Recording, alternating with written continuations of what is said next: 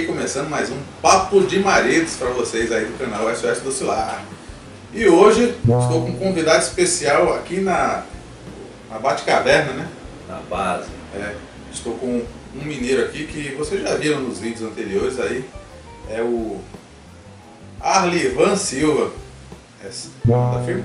SN Assistência Residencial. SN Assistência Residencial. E aí, meu amigo? Fingindo que estamos nos vendo a primeira vez, né? Me diga aí, quem é o Arlivan? Sou Arlivan Silva, Mineirinho. 37 anos. É, somos da empresa SN Assistência Residencial, atuando na região de Vespasiano. Vespasiano, para quem não conhece, é é uma cidade Está localizada na região norte de, na região metropolitana é, de Belo Horizonte. E você trabalha com manutenção há quanto tempo agora? Se for contabilizar. Se for contabilizar, com manutenção, eu comecei no ano de 2019, estamos indo para 5 anos. Cinco anos. Então, vamos contar, conhecer um pouco do Arlivan, né, minha gente? Assim, o que, que você fazia antes de. Qual a sua formação? O que, que você fazia antes de, de ser marido de aluguel? É, a minha formação é na área da indústria. Eu atuei por vários anos como torneiro mecânico. No ano de 2013, entrei numa empresa, a qual foi a última empresa que eu atuei nessa área, e era uma empresa muito boa no sentido de, de tranquilidade de trabalhar, né? E foi o único lugar que eu falei, bom, aqui eu vou ficar, aqui eu vou, vou ficando por aqui vou, vou me aposentar. Era próximo de casa, é, tinha uma condição muito tranquila de trabalho. Quis o destino que, passados menos de dois anos, essa empresa veio a fechar, no final do ano de 2015. E aí foi uma época de uma crise bem severa na área da indústria e através disso eu migrei para para manutenção residencial. Me bateu uma dúvida aqui. É, como você decidiu ser torneiro mecânico? Por que, que você quis? Era coisa da, da época? O que que ocorre? É, na verdade eu fiz o curso, eu sempre fui, fui interessado na área de, de manutenção de veículos. E aí eu fui fazer uma inscrição no Senai e aí me perguntaram se, se eu queria manutenção geral, mecânico de manutenção geral. Falei, bom, é esse curso que eu quero. Eu imaginei que seria mecânica automotiva. Mas eu me, me identifiquei é, no primeiro momento com a área de, de usinagem, de tornearia. E foi por isso, por esse motivo. Hoje a gente vê que não tem muito a ver né, com a profissão de marido de aluguel, né? Não, Como não foi essa transição assim? Como é que você ficou sabendo da existência desse tipo de ramo de serviço e como é que foi essa migração? E quando que foi? Então, até, até no, no- em 2019, quando eu entrei na área da manutenção, eu entrei numa empresa como auxiliar de manutenção. É, E lá eu tive contato com coisas que eu nunca tive. Embora eu soubesse que existisse a área de refrigeração, mas eu não sabia o que fazer um mecânico de, de ar-condicionado, um mecânico de refrigeração. E no primeiro momento é, eu tive interesse por essa área, por entender que, que trabalhava diretamente com o bem-estar, né? bem-estar térmico. E eu via a reação das pessoas quando você chegava e estava com um problema, a máquina não estava funcionando, você estava no calor, e quando resolvi o problema, eu falei, bom, é isso. Uma satisfação. a satisfação gerada através do, do, E nesse, con- nesse contato com o cliente assim, você se deu bem? E dentro da empresa era diferente, né? Pois é, ali já começou uma transição. Porque anteriormente eu trabalhava dentro da empresa, atrás de uma máquina. Praticamente eu não via ninguém, eu via as mesmas pessoas todos os dias.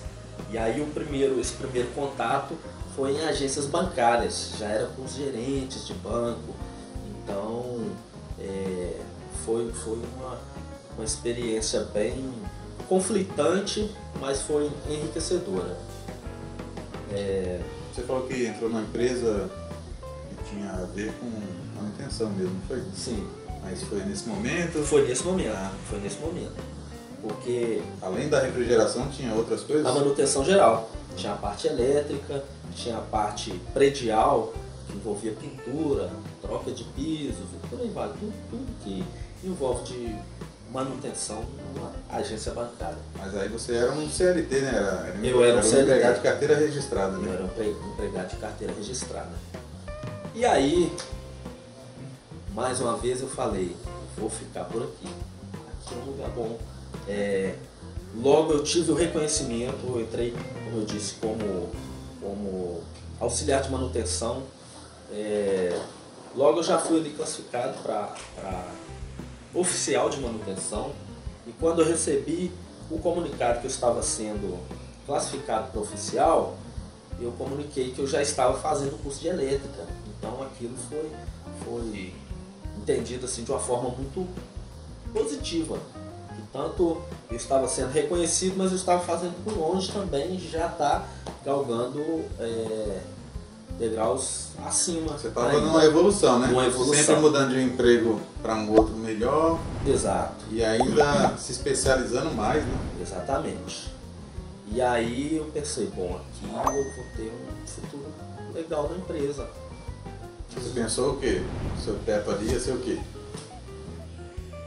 Pois é, na, na, na verdade eu não, não, pensava muito ainda o teto, porque eu já pensava, no, já pensava no, no, próximo degrau e talvez não pensasse nos superiores, nos degraus tão acima ainda, né? É, e aí quis o destino que a empresa também perdesse o contrato e nesse momento, através de um amigo que trabalhava comigo, ele me falou de uma pessoa que ele conhecia que trabalhava com seguradora. E aí eu perguntei, sabe, como que é isso? Não, eu. A pessoa recebe a solicitação, vai até a residência, executa o serviço. Parece ser interessante. É, e fomos nós dois fazer a entrevista é, nessa empresa da seguradora. Eu achei interessante, resolvi é, entrar esse amigo meu não quis, ele tá lá no banco ainda. É... Nossa, como é, é incrível, né? Às vezes você olha para trás, passa um determinado tempo, né? Às vezes décadas assim, e você vê que aquelas pessoas estão ali no mesmo lugar. Se você tivesse ali, estaria da mesma forma, né? Estaria da mesma e, forma. E olha para si e vê quanta coisa mudou. Quanta né? coisa aconteceu, quanto conhecimento adquirido, quanto a gente percebe que tem que adquirir mais, né? E realmente é, é isso que você disse. E aí eu entrei na parte de, de mais voltado para o marido de aluguel, porque até então o banco era mais, mais amplo a atuação. É, no seguro já, já ficou mais restrito, algo bem mais próximo do que, do que a gente realiza hoje. É, pequenos reparos. Pequenos reparos. Serviços mais rápidos, reparos elétricos, reparos hidráulicos. E aí foi a minha. a minha. A deixa para mudar? A minha deixa para mudar. Como eu te disse, é, eu moro na cidade de Vespasiano, que é divisa com, com Belo Horizonte, mas o, o grande fluxo de, de demanda do seguro é em Belo Horizonte. Então, eu estava me desgastando muito com, com os desloca, né? deslocamentos. Porque eu moro no extremo norte da, da cidade é, e era normal terminar o dia seis da noite, depois de já ter rodado a cidade toda de ponta a ponta, eu finalizava o dia lá no extremo sul. O pessoal falava, senhor, muito obrigado por hoje, bom descanso, até amanhã. Mas aí eu tinha que cortar a cidade toda de volta. Então estava sendo muito desgastante fisicamente. Você usava é, seu carro? Usava meu carro, economicamente, é, em vários aspectos. E aí, no finalzinho de 2020 para início de 2021, eu pensei, por que não? Vou tentar estatuando na minha região. Eu mesmo delimitar minha, minha área. Mas como fazer isso sendo funcionário? Como fazer isso sendo funcionário? Foi, foi então que, que eu me interessei em procurar mais a respeito da, da, da função, da área e, e tive o contato com o canal SOS Especial. Mas você só começou a ser depois que ser marido de aluguel, depois que conversou com a, comigo? Ou você já tinha dado o pontapé inicial assim? Já tinha dado o pontapé inicial, de uma maneira bem, bem, bem discreta, né? Porque como, como foram meus primeiros clientes? Através do seguro. Atendia lá Atendia e lá, guardava o contato. Guardava o contato, deixava o meu contato, e esse cliente indicava para É, o outro. que ajudou na questão da experiência, né? Da experiência, do contato com o cliente, né? Sim, Então você já É. veio meio moldado, né? Lapidado, né? correto. A, a, a parte assim, da execução do serviço, a parte de, de, de como saber entrar, se portar né, dentro da casa do cliente, a parte de como comunicar com o cliente, a parte de comunicar é, a parte técnica, né? Olha, esse serviço envolve isso, envolve aquilo, pode ter esse risco, pode ter aquilo, você está ciente, podemos fazer dessa maneira, te aconselho a fazer assim. Então, nesse sentido, eu tive menos dificuldade porque eu já, já tinha absorvido isso na experiência anterior. Aí, desse ponto inicial, faz quanto tempo assim que. Foi quando você entrou no grupo, né? Quanto tempo você entrou no grupo? Eu entrei no grupo em janeiro de 21. Olha, são quase três anos, né? São quase três anos. E daí, desse ponto em diante, o que, é que você sentiu de diferente do. Você falou que foi de um- entrou de uma forma rústica, né? É, iniciou assim de uma forma bem discreta. Aí, o que, que mudou assim para conseguir. Você come- começou a ter mais clientes depois desse momento? E como é que você fez para conseguir mais? Foi divulgação? Foi divulgação. Para conseguir mais foi divulgação. É, Eu demorei um certo tempo para conseguir fazer a, a página do Google Meu Negócio. O Google Meu Negócio foi o divisor de águas. né? Depois disso, é, até então, por mais que eu quisesse delimitar uma área, o meu leque de atuação era maior, fazia mais coisas é, e em regiões às vezes mais distantes. Você foi nichando ali, Fui né? nichando e hoje em dia nós estamos bem centralizados. Isso facilita demais a logística, é, a agenda. Às vezes surge um, um atendimento emergencial no meio do dia, você consegue atender porque está sempre, sempre próximo ali. Você se considera estabilizado assim? Seus ganhos, sua quantidade de clientes? Então, Ou é- considero sim, considero pelo, pelo seguinte fato. De agosto a dezembro de, de 2023, eu fiquei sem a página do Google Meu Negócio. E eu demorei para perceber isso. Porque estava entrando cliente. Porque assim. estava entrando É, cliente. é os mesmos, Ou- né, no caso. Né? Exato. Sua carteira de clientes estava É, mantendo o. com o passar do tempo eu falei, gente, eu não estou recebendo muita ligação de número desconhecido. Aí que eu percebi que, que eu estava sem a página. Então eu me considero é, estabilizado. E depois que você começou a trabalhar assim, tem um período, né? Quando você começa até se sentir esta- é, estabilizar o- os seus ganhos, né? Demorou mais ou menos quanto tempo, assim, no seu caso? Coisa de um ano. Mais ou menos, né? É de seis meses a um ano. É, Por isso que muita gente desiste, né? antes, do- antes desse prazo. É- são pessoas muito imediatistas ou que querem ter uma segurança que não existe, né? Na verdade, né? Não existe. Ah, eu quero, é como se fosse, ah, como se estivesse em um emprego, mas não é assim, né? Todos os meses eu vou fechar com tanto.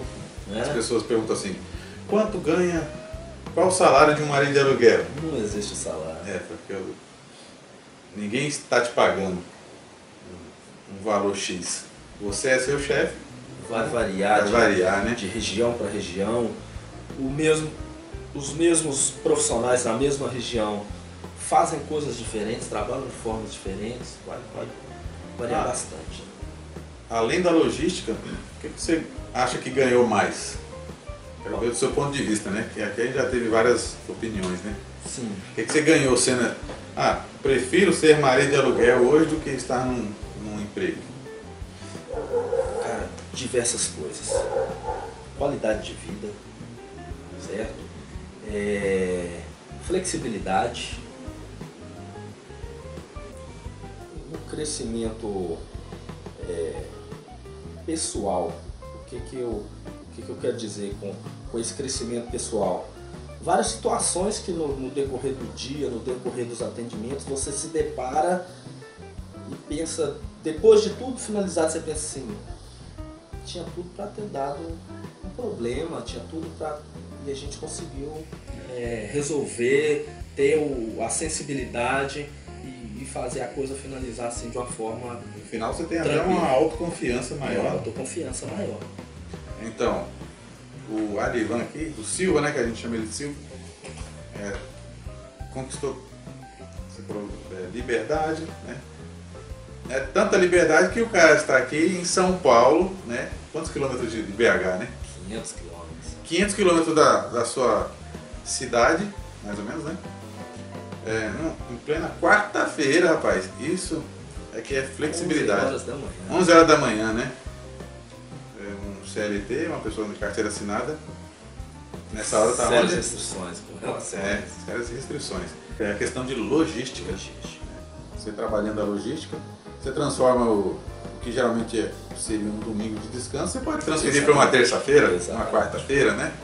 Então ele não deixa de trabalhar menos por conta disso. Ele só consegue é, organizar melhor a sua logística. E atualmente você teve até a oportunidade de viajar né, para uma feira de, do ramo, né? A oportunidade de fa- é, ter um feedback com mais profissionais, né? O que, que você acha de tudo isso aí dentro do grupo, né? Essa possibilidade da gente encontrar pessoas diferentes, que trabalham de formas diferentes. O que, que agrega para você, na sua opinião? Cara, são, são, são experiências fantásticas, né? É, estive com o Rodrigão aqui da, da, da última vez, em novembro. É, Inclusive ele está atrás das câmeras ali, né? voltamos, voltamos é, compartilhando essas experiências, né? O que a gente, o que a gente vê de cada um, é, e aí pega uma experiência de um, pega a experiência de outro, pega uma ideia aqui, uma ideia ali, então é muito é, enriquecedor pra gente é, essas, esses momentos assim. Eu acho que de alguma forma vai agregar, né? Quando você vê uma situação de um outro profissional que trabalha de uma outra forma, em algum momento a longo, médio prazo e até a curto prazo, você pode pôr em prática também. Com né? toda certeza. Até estava conversando ontem com eles que isso gera uma situação de que quando estamos numa comunidade, um puxa o outro, né? Ou empurra o outro para que vá mais rápido, né? Para que siga um padrão vencedor, né? Exatamente. É isso aí. E o que, que você espera a partir de hoje, assim, daqui para frente, na sua empresa? Você tem uma visão? Temos uma visão, visão de, de, de expandir a cada dia, né?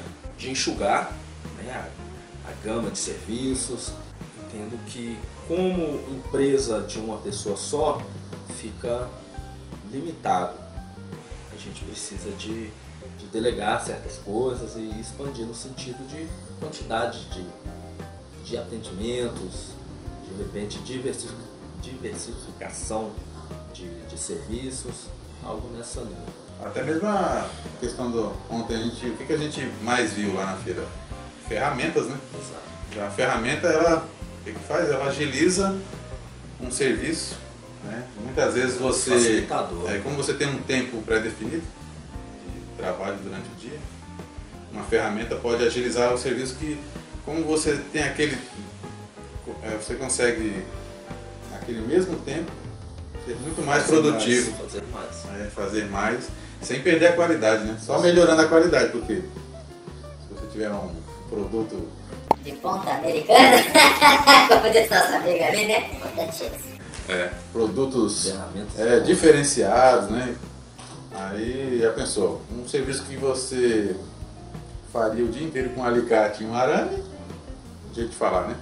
Você faz em uma hora com um Barato, equipamento, é, barato. um equipamento aí, e quando você vê que é um equipamento diferente daqueles que as pessoas estão usando, não só você se beneficia com esse equipamento, Mas passa uma imagem pro cliente Passa também, né? imagem Caramba, aquele é o cara. diferenciada.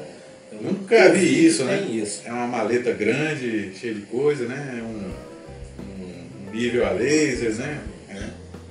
E o mercado de ferramentas só cresce aí, né? Então, acho que agrega também essa questão das ferramentas.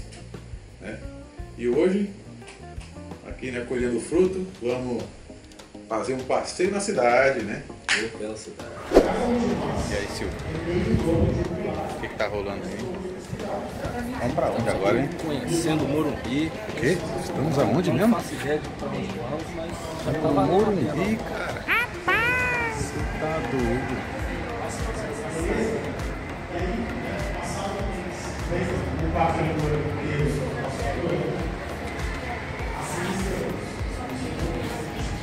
Maridos do Brasil.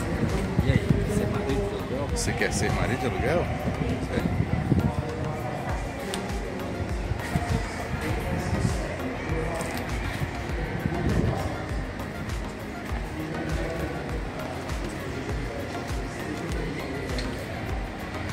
Aí, São Paulo. Top, viu? Totalmente diferenciado. Direto no- dentro do campo, hein? Gostei demais, hein? Nunca tinha vindo aqui. Em realizado. E aí?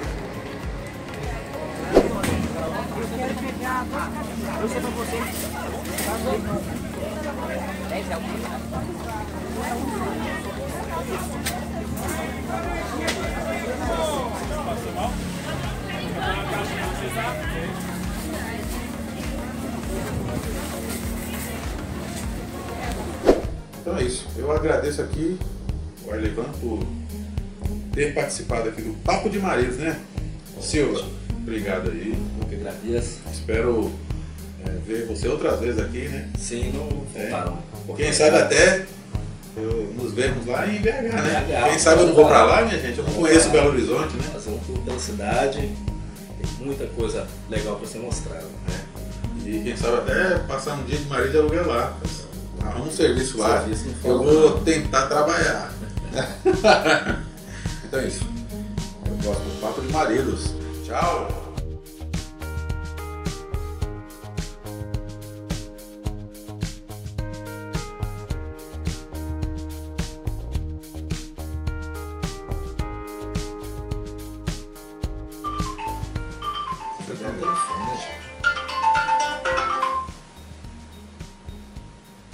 Gente? SN, assistência.